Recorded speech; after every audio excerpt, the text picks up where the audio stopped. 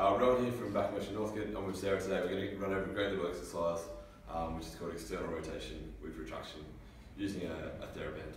So I'm going to ask Sarah to find a nice posture through her shoulder blades and neck and then we're going to pull the band out and externally, externally rotate at the same time while squeezing the shoulder blades together and return. Working two things here, working some external rotator or rotator cuff strength um, as well as working some retraction through the shoulder blade. So it's a really nice one to get both areas happening and slowly coming back. So if Sarah just turns that way for me, you'll see as Sarah pulls the band back, she's drawing the shoulder blades together, really squeezing them together, accentuate that movement, and then returning to the starting position. Great little exercise to work rotator cuff strength and re retraction of the shoulder blades.